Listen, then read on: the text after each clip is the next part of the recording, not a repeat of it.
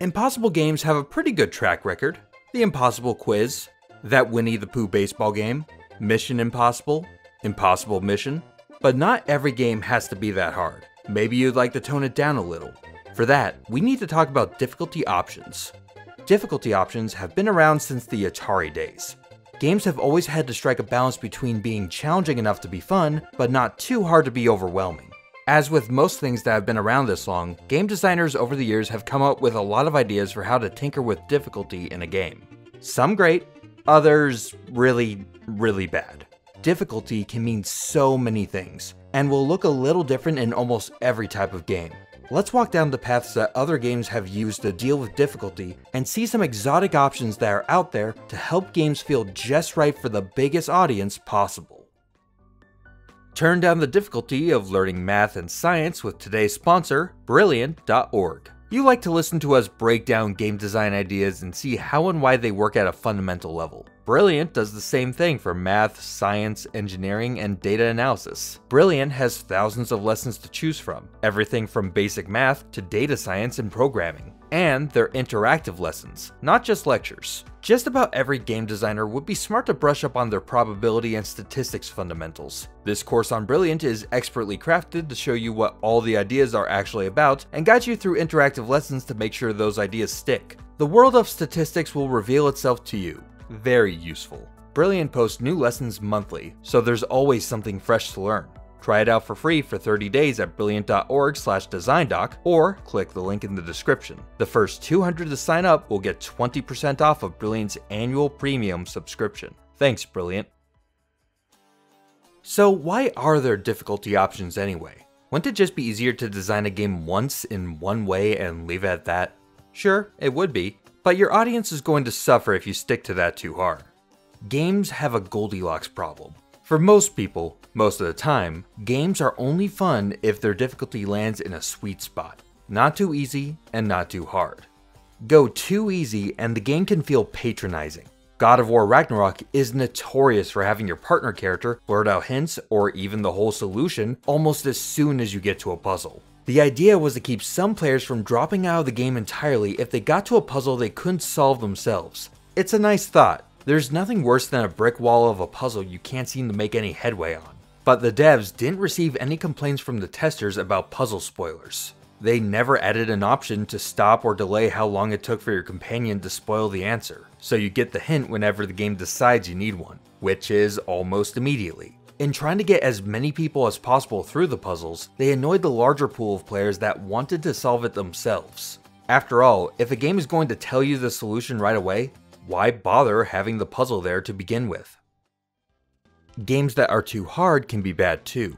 Bubsy is notorious for its cheap, unforgiving difficulty. Bubsy has the constitution of a wet paper bag and will kill over if he gets brushed by a gumball. The game is a Sonic-inspired platformer, with a good amount of speed, but that creates situations where you're jumping around almost blind. Imagine Sonic with one-hit kills. Land wrong, and you're done.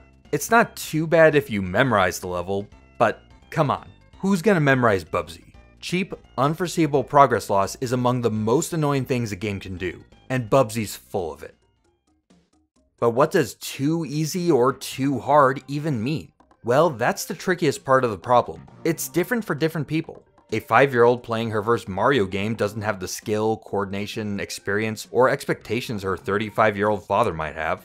Two brothers that run a YouTube channel about video games might have one that can finish Super Metroid like a normal person, and one that can't platform in it to save his life. Hey. Oh, you hate the truth now? The same difficulty would be hard pressed to keep the game fun for everyone. Not only that, but the sweet spot of difficulty is even different for the same person at different times. The first time you opened up Devil May Cry, you were way worse at the game than you might be now. If you played Street Fighter 4 on release, you might be a lot worse these days at it. The sweet spot is a constantly moving target, and difficulty options help you spread out your shots to make it easier to hit where you need to hit. One size literally cannot fit all.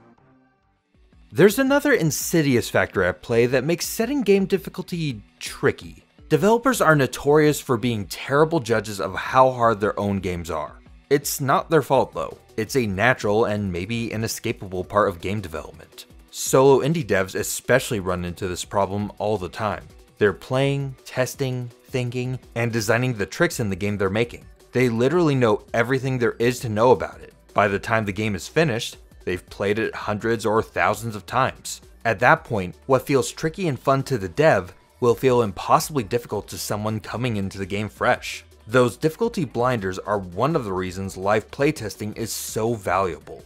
Mark Brown found out exactly this while making his Magnet game, and shared the experience in his most recent GMTK video, whose thumbnail gave me a mini heart attack when it popped up this week. I thought he made roughly the same video for a second. Dodged a bullet there. So, if you're ready to design some difficulty levels into your game, where do you start? Well, you could start with the basics, game quantities. These are tweaks to a lot of the numbers and options that you're probably already familiar with. Halo comes with four official difficulty options easy, normal, heroic, and the legendary, legendary. Each option changes a host of variables that influence basic game mechanics, like shield strength, health, and weapon damage. Higher difficulties boost both enemy attributes and nerf your own, as you'd expect. You might have half the shields and health while each enemy has twice as much as on normal. The mix of units you encounter in any given fight can change, with flood enemies getting equipped with weapons more often, or boosting how many stealth elites you have to take care of to get through a section. Instead of fighting two of them in normal, Legendary might give you four to six of them in the same place. Enemy AI dramatically changes as well. On Legendary, everyone becomes much more accurate and fires faster than normal. Tactics can even change, where enemies might group up more often rather than go it alone. Halo's suite of health, damage, and behavioral tweaks are our greatest hits of the tried and true difficulty modifier options that many games use, and most people likely first think about when they think of what changing a game's difficulty means. Of course, just tweaking sliders isn't a fix all. If that's all you do to change difficulty levels, it's not hard to wind up with a more difficult, but less fun game. Metroid is one of my favorite series, but its approach to a hard mode rarely ever feels right to me. Let's use Metroid Dread as an example. On normal, the game is already challenging, but fair. Enemies deal a lot of damage. Attacks can be tricky to deal with and require all your abilities like 360 aiming, parrying, and dashing to precisely dodge and counterattack. The enemies and bosses are pattern based, and while difficult, it feels very possible to get through the fights without taking damage, if you know what you're doing. Maybe you'll struggle in your first playthrough, but you'll figure it out if you stick with it.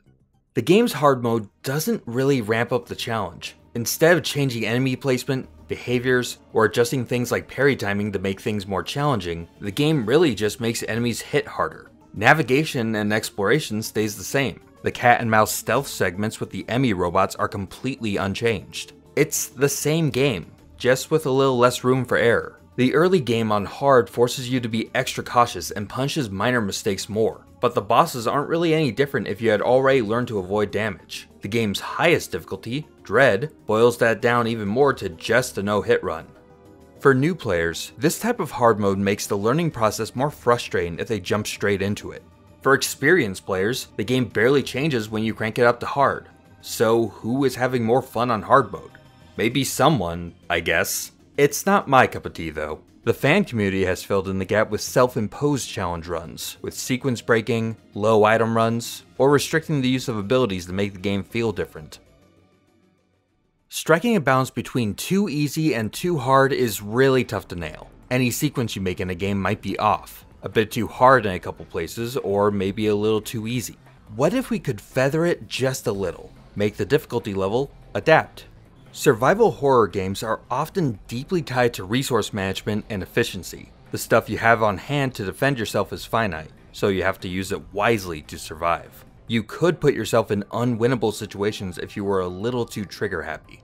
But most Resident Evil games keep that in mind and have an escape valve. Each game in the series does it a little differently, but the games have an adaptive difficulty system to smooth things over. It keeps track of the player's performance through their inventory and how much damage they've taken, and fine tunes some things accordingly. It influences things like item drops, enemy strength, health, or even their behavior. Enemies might move slower, or perform evasive actions at a different rate. If you're taking a lot of hits and are very low on healing items, the game might give you some more green herbs. If you die and hit continue, enemies might be weaker, less aggressive, or fewer in numbers. If you go a while without taking hits, or if you start taking out a bunch of enemies, the game can ramp things back up to make it more challenging.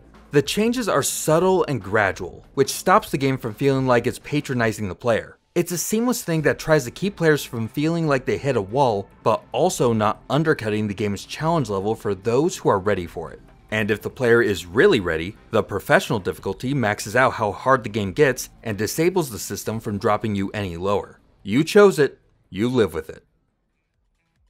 What else can we tinker with to make a game harder? Hit points and damage feel too surface level, too much like adjusting a slider. What if I wanted my difficulty levels to change game qualities? The things that are fundamental to what the game is.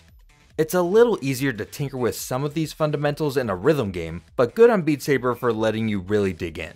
On one level, Beat Saber gives you what you'd expect, a handful of note charts, er, box charts per song, spread over 5 difficulty levels, from easy to expert plus. Beat Saber's got layers though, you get control over some of the other variables that give the song its character. You can turn off failure. You can remove the bombs or the flying walls that you have to avoid. If you're having trouble with a routine, hit the 30% slower option and treat it more like a practice session. If it's too easy, try making the arrows that tell you how to cut the boxes disappear before they reach you. Speed up the song by a bit. Or add ghost notes.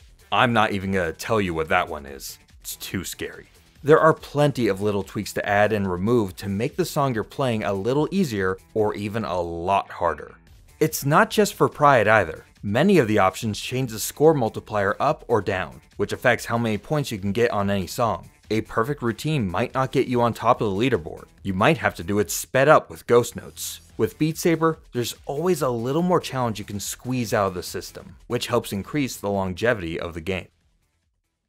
If you're allergic to nuance and think subtlety is for cowards, you could use difficulty levels to take a hacksaw to your game's structure. The licensed SNES game Tiny Toon Adventures, Buster Busts Loose, deletes chunks of itself in its easiest mode. If you set it to children difficulty, you gain an invincible dash ability, and major parts that the devs thought would be hard for kids are skipped. Sequences with instant death traps get removed. The boss fight is taken out of stage 1. There's an auto scroller sequence that never appears in stage 2. The boss fight is taken out of stage 3. All of stage 5 is gone, so you go from stage 4 to 6 directly. The final boss, wouldn't you know, is completely missing. I guess it does make the game easier to beat if you just remove half of it. It's not an unworkable idea, but cutting out big chunks of a game is a little sloppy. The point of having easier difficulties is to let more players experience the game. Everyone seeks out different things from the games they play, and not everyone will be looking for, in the mood for, or even ready for a game presenting an especially tough challenge. But if you're going to offer an easy option to begin with, don't punish players for taking it. Cuphead has two difficulty levels to select for every boss, Simple and Regular. Simple mode removes phases from bosses and simplifies patterns, but it also bars you from reaching the game's finale. Even if you finish everything on normal, say for one or two fights that were giving you trouble, tough luck. You're supposed to only play the game on normal, I guess. The contradiction between giving the option to tone it down before every boss, only to punish you afterward for doing so, seems unnecessary. Cuphead is tuned with its normal difficulty in mind. For most people, overcoming the challenge is part of the experience. When it works, it's very satisfying. An easy mode can undercut that satisfaction but not everyone playing was looking for that experience anyway. Cuphead even offers other ways to make fights easier. Different power-ups can sometimes trivialize some challenges, especially after the DLC was released. But its simple mode is the only fight easification option that arbitrarily stops players from experiencing the whole game. If you don't want to provide a traditional easy mode, that's fine too. But if you do, don't lock players out of major content like the game's finale for using the feature you put in there in the first place. Difficulty doesn't just have to be about what the game is, though. It could be about what the game asks you to do. GoldenEye makes great use of an objective list to tweak how the game feels to play as it gets harder. The three difficulty modes, Agent, Secret Agent, and Double O Agent, give the standard suite of health and AI behavior changes you might expect. On Agent, guards are inaccurate and crumple quickly. Body armor and ammo pickups are all over, plus you only have to check off a very short list of objectives on the level. On Dam, just jump off the dam. Easy. Secret Agent turns up the heat with more accurate guards and fewer pickups, and makes you take out all the level's alarms before jumping. Double O Agent cranks enemy behavior up further, makes you do all the previous objectives, plant a modem, and stop by the computer room to steal some data. And if you're still looking for a challenge, 007 mode lets you tailor your own experience, where you can set guard health, accuracy, and perceptiveness to levels way past even what you'd find on 00 Agent. The changing objectives force you to scour the level and make a run in 00 Agent feel qualitatively different, especially if you had been playing each difficulty in ascending order. Without spending a lot of time generating new level content, new objectives can add plenty of challenge and real replayability to a game. Platformers can have a hard time creating a lot of difficulty levels that make sense. Challenges can make that job a little easier. To add more variety, lots of modern platformers will have optional challenges and extra stages that stand as the thing that steps it up. Think of the B-side and C-side levels in Celeste, the Dark Worlds in Super Meat Boy, the post-game of Mario Odyssey, or one of my favorites, the Death Wish DLC in A Hat in Time.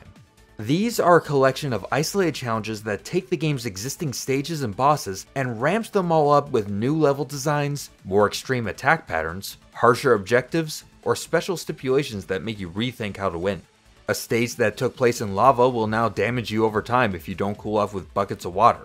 Another time limited stage on a train may cut that timer way way down. Maybe a level keeps track of an extra objective, like not getting hit or not jumping too much. This one makes you complete a boss rush while equipping the one hit kill badge. The challenges are there to force you to explore the limits of the game's mechanics and find alternate strategies to get to the end. You get rewarded with cool cosmetics, but really the reward is the satisfaction of a job well done. If you wanted that party hat but it's just too hard to get, the game mercifully adds a peace and tranquility accessibility option where you enter the no judgment zone, pay a little money, trance out for a bit, and the game cranks down the challenge. There you go, a frustration-free hat, if that's what you wanted. A Hat in Time provides a good balance of providing a stiff optional challenge that extends the game with tangible rewards, but without getting too hung up on excluding anyone. Instead of a dedicated hard mode or highly difficult challenges, you could just provide a very high skill ceiling for players to shoot for. You see this a lot in character action games with ranking systems, but a handful of platformers can do it too. Like Pizza Tower, it's not that hard to finish a stage in Pizza Tower. The game takes Wario Land inspiration in that you can't really die, but mastering the game is a whole other story. Pizza Tower's stage structure is inspired by the later Wario Land titles, where you venture through levels collecting items, finding secret areas with powers, and taking out chains of enemies for points until you reach your objective. Then, it's pizza time, where you have to sprint back to the start before time expires. If you run out of time, the villain probably gets you and you restart the whole stage. If you do well, you might get like a B rank. Not bad, but not great. To get that elusive S rank, you need to constantly build and maintain your combo count by taking out enemies, collecting ingredients and items, and not getting hit. You have to study the stage and execute at a high level. Ah, S rank. Congrats. But is this the best you can do? Some say there's a mystical P rank, where in a single run, you have to maintain a perfect combo, get every major collectible, including a secret treasure, find three hidden areas, and transcend the need to exit properly. Instead, enter a portal and do a second lap within the same time limit. You're almost guaranteed to run out of time and get chased down, which adds to the pressure, all while the music goes hard in the background. To get that P rank, you're not just beating the stage, you're styling all over it. The stages are all intricately designed to make that high skill run possible while pushing players to their limits. Pizza Tower never needs to explicitly tell you you're playing at the hardest, highest difficulty. It just makes one available to those with the courage to seek it out. So we've got lots of options for creating cool difficulty levels, but there's another catch. A lot of players don't really mess around much with that setting. They set it once and just go. If you've crafted a unique experience that only happens in one of the modes, it can be very hard to signal to a player that changing the difficulty from their comfort zone is worth doing. Often, word of mouth will spread about what the best difficulty is for a game, but not everyone is gonna know about that. How can you encourage someone to explore the different difficulties you've created? This one's going to come down to building the right incentives. Bug Fables is a spiritual successor to Paper Mario, and iterates on a lot of the core combat ideas to create a deeper combat system. The tools you have revolve around the game's medal system that you can equip to give yourself extra bonuses and perks as you progress. It sort of resembles a deck builder with all the viable strategies you can discover with the medals you find.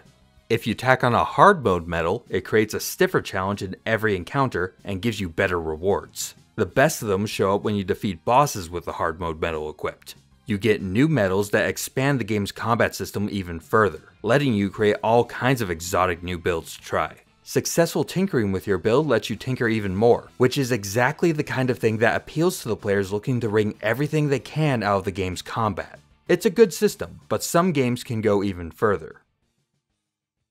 As a roguelite, Hades is quite challenging straight out of the gate by design. Very few players will be able to get through a run within their first few tries. It's meant to be chipped away at. It's a tough game whose difficulty slowly erodes as you get both subjectively stronger as you gain playing experience, and objectively stronger as you unlock permanent upgrades. Bit by bit, the game gets easier and easier until you can finally get that clearing run. But that's the structure of lots of roguelikes. That's not that special.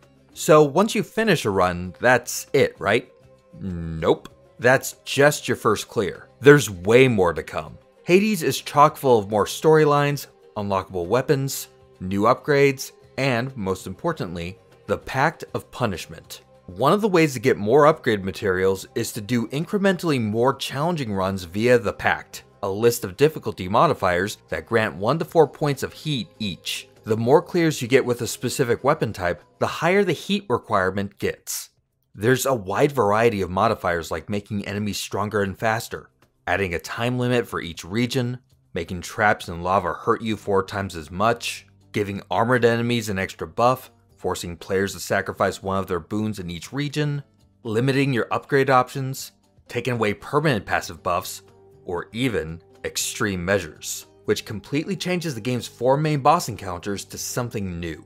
You don't have to push the system to its extremes to get the upgrades you want. You'll be able to get through a ton of runs with pretty low heat levels and easy modifiers. But if you're feeling it, you can crank it way up and give a personalized ultimate challenge that shows off the combat system's depth and forces you to strategize carefully to succeed.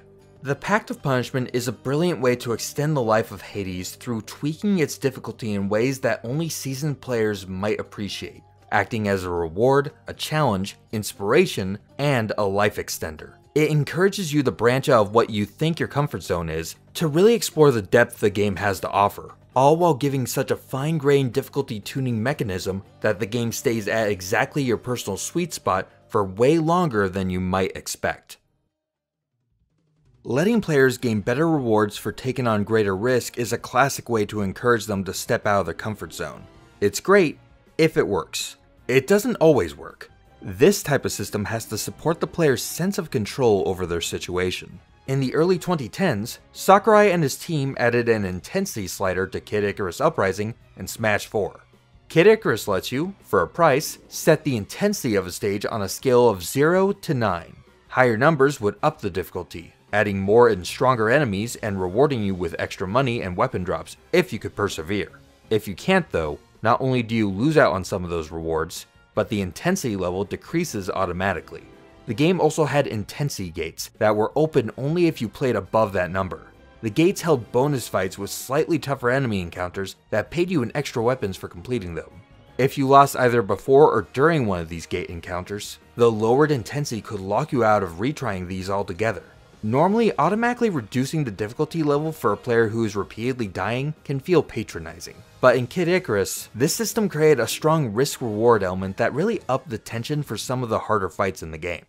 The same idea was brought over to Smash Wii U and 3DS's classic modes, though they had to contend with some new problems. The broad risk reward elements of the system are the same, but the way Smash increased its challenge is less great. Not only would you have to fight stronger and smarter CPU enemies based on the intensity, but the game often forced you into group battles with up to 8 opponents at once. Random stages, random items, and random objectives.